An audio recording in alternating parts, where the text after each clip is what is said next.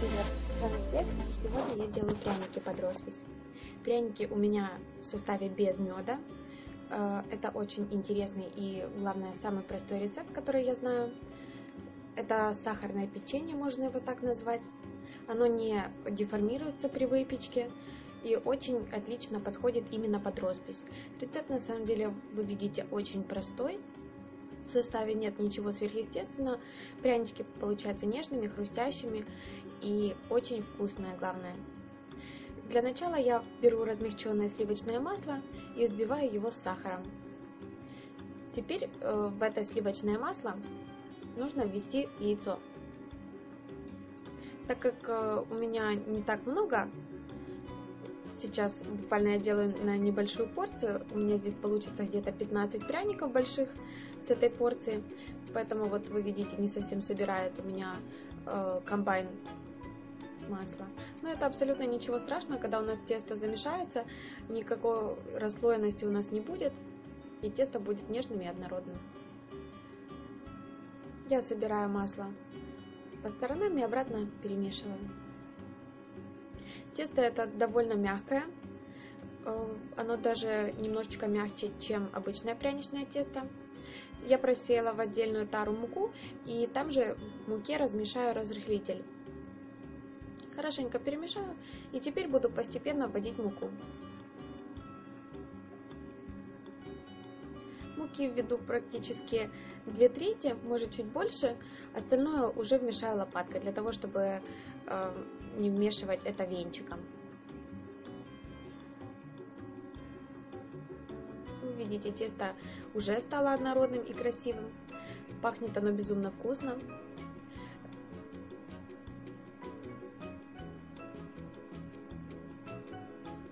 Вот оно получилось такое вот мягкое-мягкое. Сейчас я домешаю последнюю муку.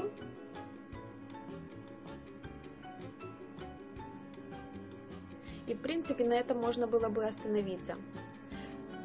Но я еще люблю тесто помешать руками. Оно становится тогда более пластичное. Но так как это тесто мягкое, я его буду вымешивать на пленке. Сейчас покажу, что имею в виду. Если вы хотите добавить какого-то вкуса этому печенью, будь то апельсиновая либо лимоновая цедра, ее можно было добавить э, или на этом этапе, или чуть раньше, это абсолютно не важно, когда вы добавите. Я вначале не хотела ничего добавлять, а потом мне показалось немножечко простым то, что тесто у меня будет просто сливочным. И поэтому мне захотелось добавить сюда, как и к обычным пряникам, имбиря немножечко и корицы. Я их буду вмешивать уже потом в готовое тесто практически.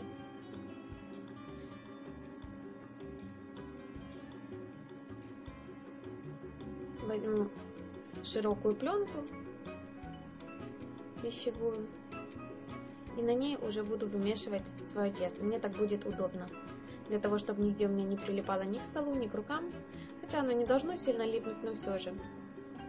Мне так будет удобнее. Вываливаю свое тесто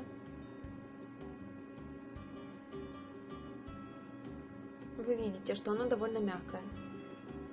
В холодильнике оно станет более плотным, но оно не будет жестким. Пряничное тесто, которое медовое, я рецепт давала, я вам также ссылочку на него дам в описании. Вы посмотрите, оно более плотное.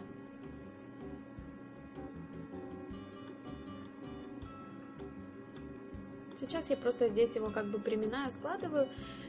Это растягивает как бы волокна э, мучнистые, и поэтому тесто становится более эластичным.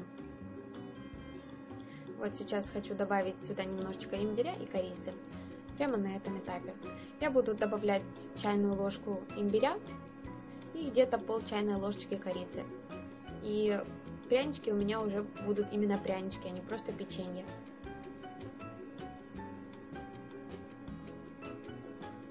Буквально по чуточке. Оно у нас прекрасно размешается в тесте, можете не переживать. Но, в принципе, можно было это добавить и на этапе замешивания теста. Когда добавляете муку, можно было и в муку сразу добавить специи. Это особо значения не меняет. Потому что специи у нас, именно запах специй раскроется именно при нагревании. То бишь здесь у нас это будет происходить при выпечке. Теперь тесто отправляю в холодильник, где-то минимум на час оно должно полежать. У меня лежало где-то часа полтора-два. Оно стало более плотным.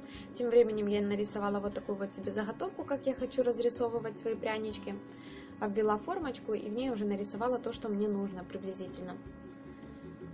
Вы можете нарисовать что-либо другое, просто я вам показываю как образец, что именно я использовала. Вот вы видите, тесто стало более плотное. Я его сейчас попробую замешать уже просто на столе. В принципе, оно не так сильно прилипает. На самом деле это не является проблемой. Оно довольно мягкое, эластичное, с ним просто будет работать. Я уже не первый раз показывала, что пряничное тесто и тесто для медовиков удобнее всего раскатывать между двумя пакетами. Точно так же я воспользуюсь этим методом и сейчас. Раскатываю их не очень тонко, потому что они не очень увеличиваются, мои прянички в объеме, буквально пол, ну вот если мы раскатаем где-то пол сантиметра, то они станут 7,5 миллиметров. Ну то есть сильно тонко не катаем.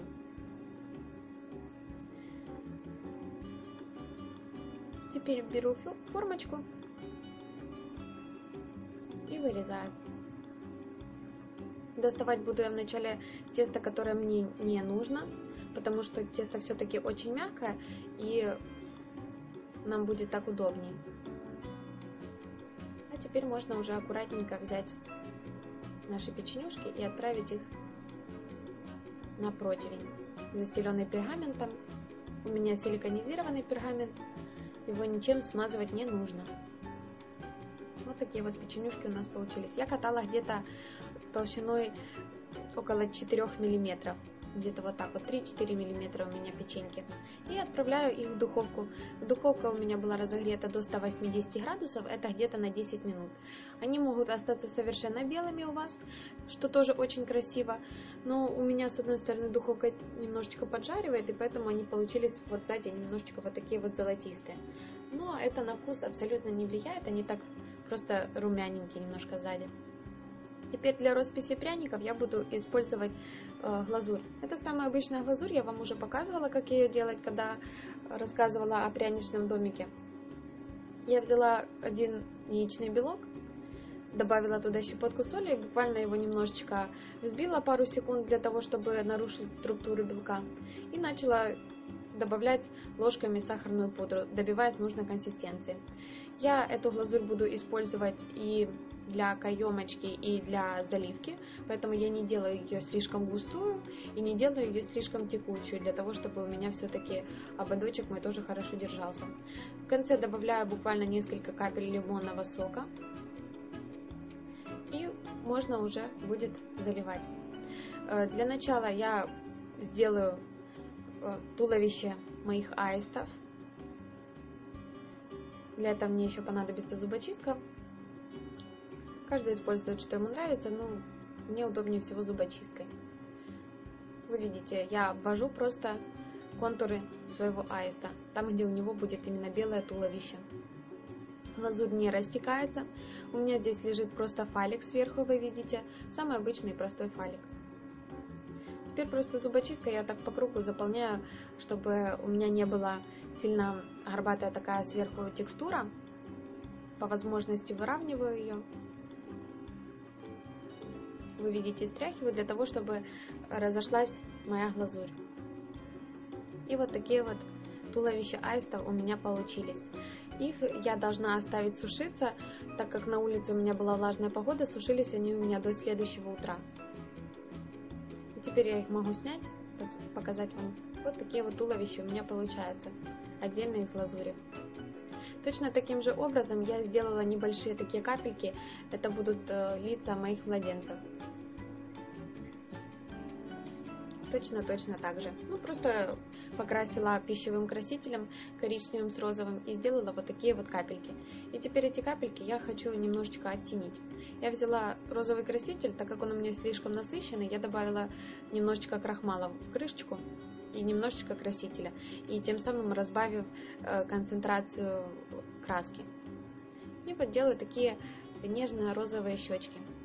Если бы я сделала просто чистым красителем, то тогда у меня бы прям был такой очень нездоровый румянец у моих младенцев. Теперь черным гелевым красителем я делаю точечки, это будут глаза.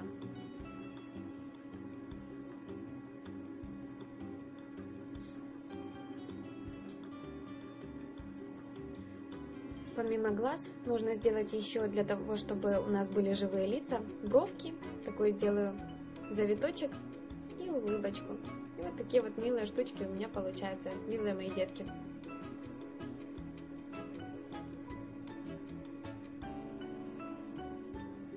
Теперь еще нужно прорисовать глазки у аиста. У него как бы рисуем вот такую вот запятую и заполняем ее, оставляя небольшую белую точечку, как э, блик.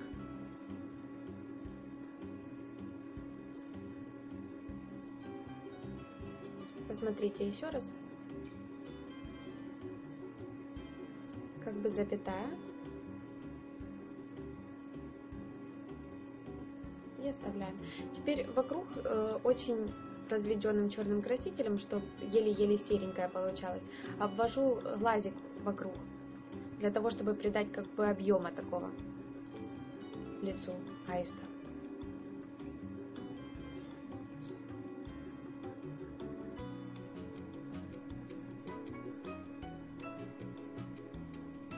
Теперь уже можно заниматься дальше росписью пряничков. Обвожу контур, заполняю его. Это у меня та же глазурь, которую я делала от туловища аистов. Не сильно жидкая, не сильно плотная. И зубочисткой теперь прохожусь по кругу, распределяя всю глазурь по контуру пряника. Если у вас плохо расходится глазурь, добавьте в нее э, буквально капельку воды, не лимонного сока. Если у вас будет много лимонного сока, в глазури, она будет очень крошиться у вас и трескаться. Стряхиваю для того, чтобы была более глянцевая структура. И приклеиваю сразу туловище аиста. Вы видите, это придает э, объем. То есть это совершенно не то, если бы мы рисовали по верху, потом глазури. Это совершенно другая техника. Сразу же мордашку клею здесь. После того, как э, у нас уже все высохнет, можно будет заниматься росписью дальше, ну или хотя бы подсохнет. Я как раз пока все поделала, то все свои 15 пряников вот так поделала, то первые у меня уже подзастыли. И теперь беру, ставлю, э, я покрасила здесь буквально нужно было э, три корнетика. У меня был с белой глазурью, с розовой глазурью и с оранжевой. Здесь много ничего не нужно ставлю вот такие вот точечки и плоской кисточкой делаю перышки. Третий ряд я ставлю белыми. И точно так же. В конце я потом немножечко прорисую еще крылышки черным красителем. Можно этого не делать, и тогда прянички получатся более нежными. Вы видите, я нарисовала в начале э, нижний как это правильно сказать, нижний клювик у аиста, а верхний буду уже после того, как э, подсохнет нижний, для того, чтобы он был как бы сверху над ним, а не соединился с ним вместе. Это буквально там считанные секунды. Сейчас я пока сделаю такой мешочек, в котором у меня будет лежать мой младенец.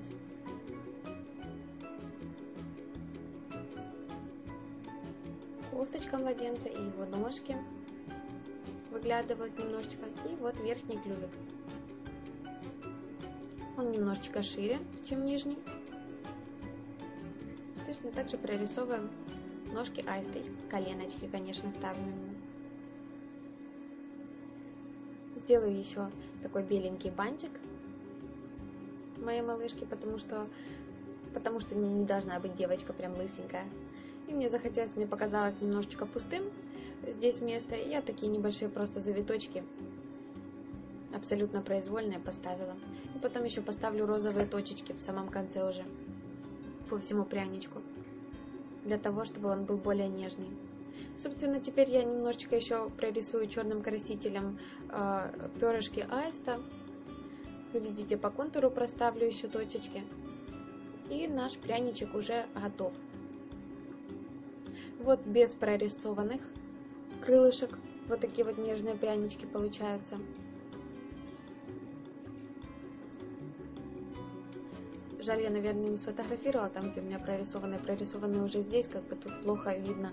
Я и по контуру прорисовала, и мешочек с ребеночком тоже. Ну, я надеюсь, вам понравилось мое видео, и вы возьмете как за идею. А с вами был Кекс. До новых встреч. Пока-пока.